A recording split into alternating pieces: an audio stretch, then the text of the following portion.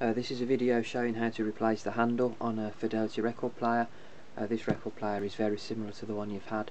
On this one, uh, which I haven't started work on yet, the uh, the nuts for the handle are on the above there, but I think on your one they're underneath, so I'm just going to show you how to do it. It's very easy, you'll see it's a two minute job.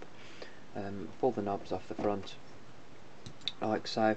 The grill um, only held on originally with double-sided um, adhesive. If you've got a hairdryer heat it just for 20 seconds or so and it will come loose and the grill just comes off.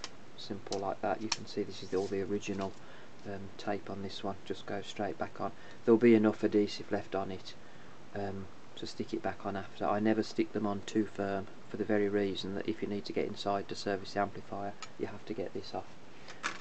Two screws one here one there either end. Simply lift out the panel. Um, this is a valved one. Yours is transistor so there's even less. There's only a small control panel. Um, and then obviously you can just if you've got slim hands you might be able to just reach the the nuts underneath um, hold the nut with your finger this side unscrew the screw on that side like so.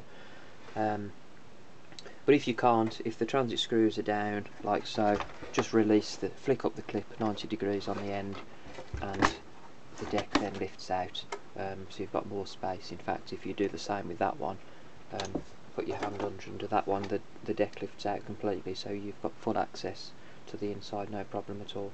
Uh, unscrew the four nuts put the new handle on uh, clip the transit screws back and uh, put the front on. Uh, it's literally a two minute job.